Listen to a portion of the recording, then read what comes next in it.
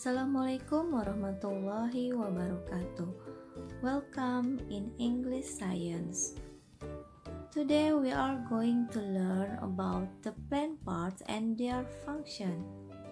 Well, second graders, we are in Unit 2 about exploring plants. Plants have six parts. Tumbuhan punya enam bagian tubuh dari tumbuhan itu. Well, how many plant parts are there? Yeah, you are right. There are six plant parts. The first three help plants take in water, menyerap air, make food, membuat makanan, and grow, dan juga tumbuh. They are, mereka adalah roots, akar, stems, batang, and leaves, daun. Dan the second three help plants grow new plants. Jadi ada bagian dari tumbuhan juga yang membantu untuk grow new plant, membantu menumbuhkan tumbuhan yang baru ya. They are flowers, fruits, and also seed. Seed artinya adalah biji. Oke, okay, let's learn the plant parts one by one. The first that we gonna learn Today are roots. Root artinya adalah akar.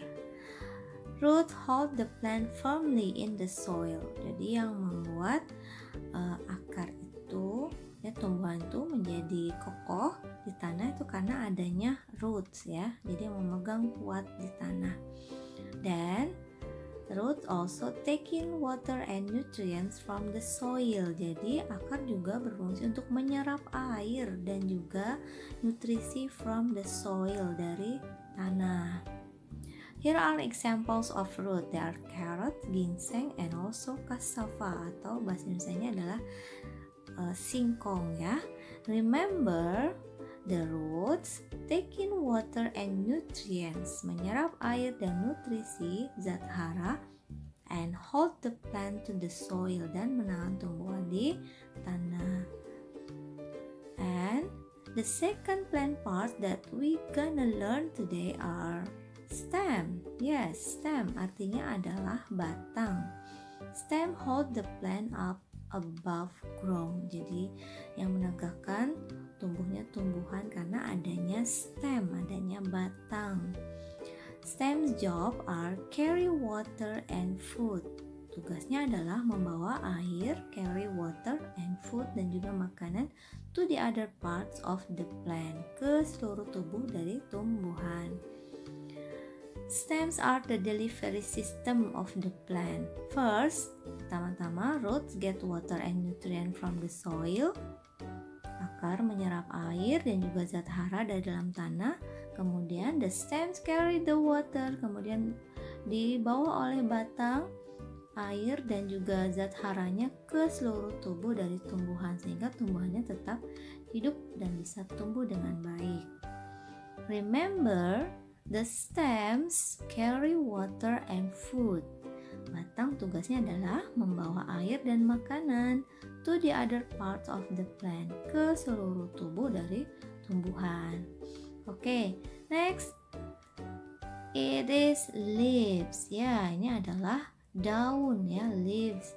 Leaves are on the end of the stems of plants. Jadi daun-daun itu tumbuh pada ujung-ujung daripada batang dari plants, tumbuhan. Dan amazing, leaves are the part of plant that makes food ya.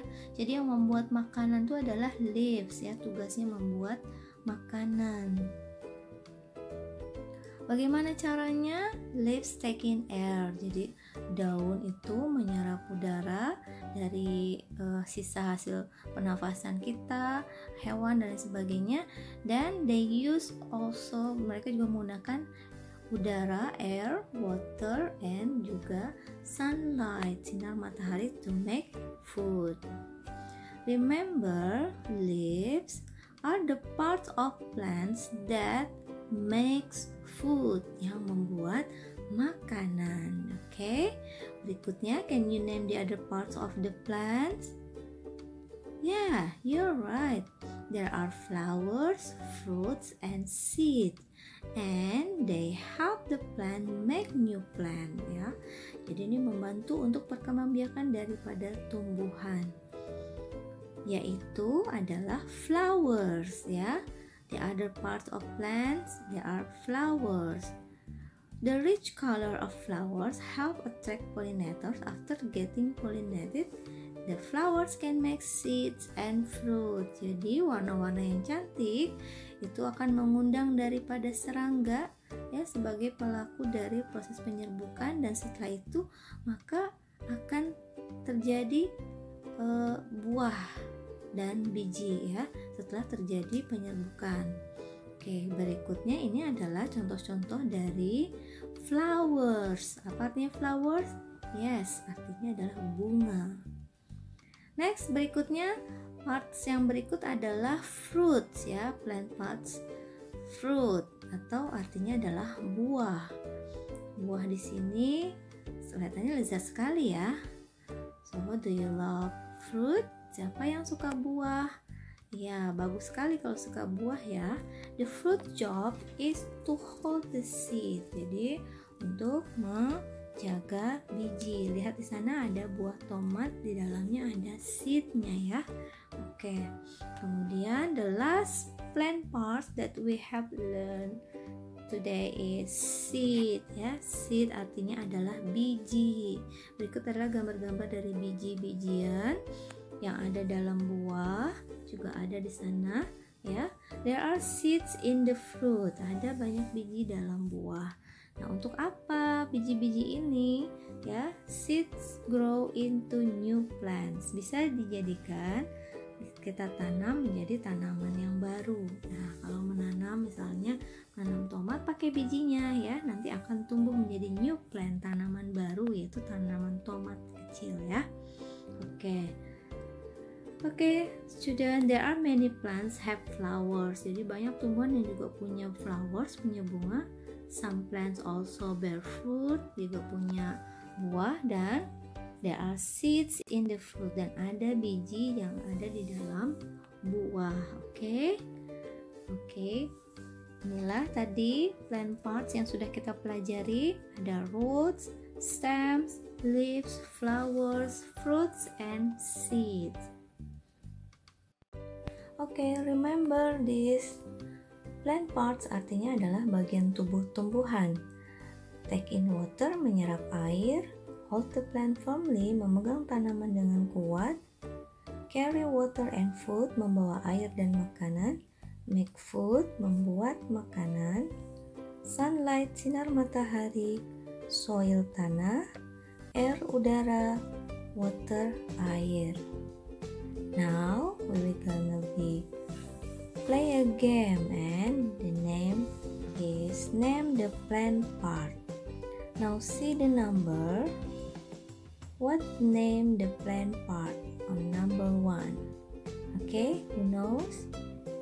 Yes, it is fruit.